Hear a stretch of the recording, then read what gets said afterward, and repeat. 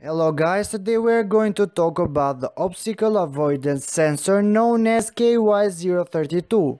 This is the module itself, so let's get started. Today's video is brought to you by ORGVSM, an online store where you can find shirts, jeans and cool accessories that fit your needs. All the products are made in Italy. They can be shipped worldwide so don't waste your time, start looking fancy today with their style. For more information, go to orgvsmshop.net or check it out at the link on the video description.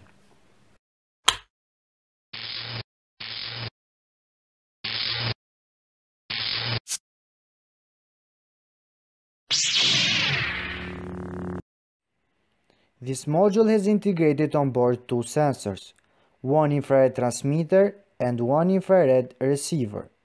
It's also integrated on board one microchip, one potentiometer, five resistors, two capacitors, and two LEDs.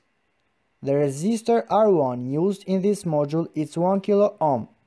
The resistor R2 is 1 kilo ohm. The resistor R3 is 100 ohms. The resistor R4 is 10 kilo ohms and the resistor R5 is 10 kilo ohms. The main reason for using the resistor is to limit current circulating inside the module. In other words, to prevent current from burning our module. We also have two capacitors. The capacitor C1 with a capacity of 0.1 microfarad and capacitor C2 with a capacity of 0.1 microfarad which are basically used to store energy. The LED L1 is used in this module to show if the module is working properly or not. And the LED L2 show if the module has detected any obstacle, so the LED L2 will light up every time that any obstacle has been detected by the sensors. Now I will show how these components are connected together. There we have the sensors itself. And of course, 5 resistors, 2 capacitors and 2 LEDs. On the right you can see how the pins of the module are connected on this board.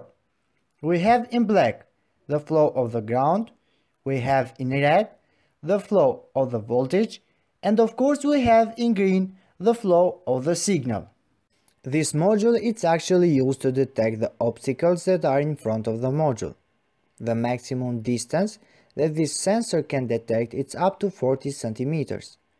The sensor sends or transmits a 38 kHz infrared light that can go up to 40 centimeters and we can adjust it by using the potentiometer. After transmission, the infrared light it will scatter in the atmosphere but if they hit something that's between 0 centimeters to the maximum distance that we want, some of the infrared light will be absorbed by the object itself and the rest will be back, which then will be captured by the infrared receiver.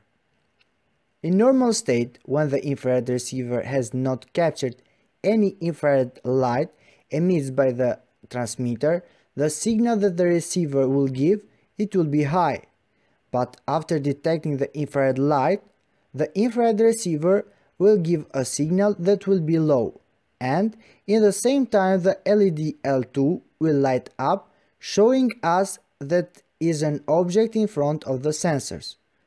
The module is very good on detecting the obstacle and the signal that tells us that the object has been detected actually comes without a delay.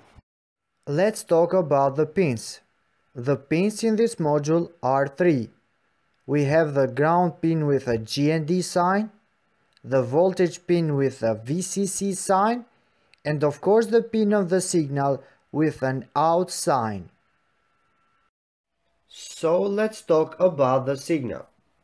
This module gives a digital signal so we can connect the pins of the signal with any digital ports of different microcontroller boards like Arduino or Raspberry Pi.